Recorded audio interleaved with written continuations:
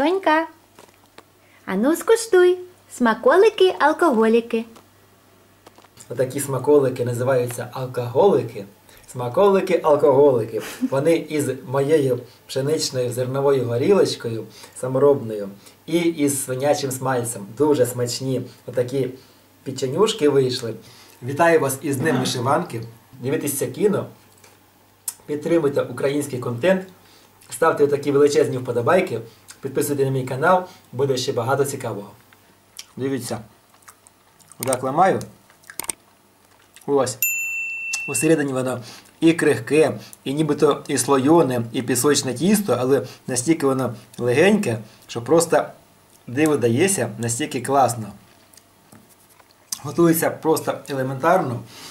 Мені воно настільки сподобалося, що тепер я його готую замість усіх тортиків або інших пляцків.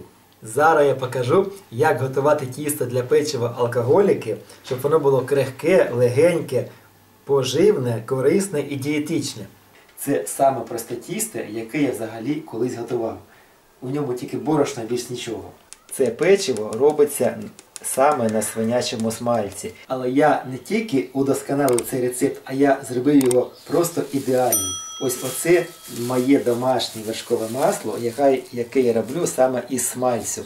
Воно набагато легше, не таке жирне, має взагалі чудовий вершковий аромат, і саме на ньому печиво і це, і будь-які навіть бісквіти е, виходять супер чудовими. Смалець, тобто вершкове масло із смальцю, я сюди занурюю у борошно і тепер перетираю оце все, щоб була така крихка консистенція.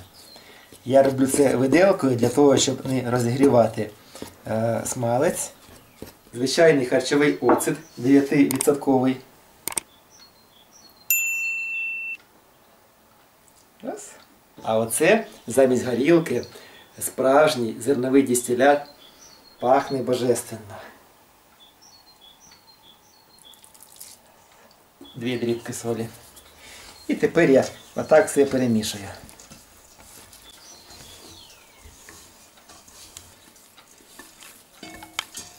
Ось таке саме просте тісто, борошно і горілка, і більше нічого. Нічогісінько.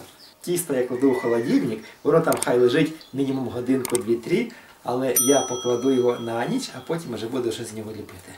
А ще я розкажу, як зробити цукрову пудру, якщо нема ні блендера, міксера, кофемолки або кофеварки, або іще чогось.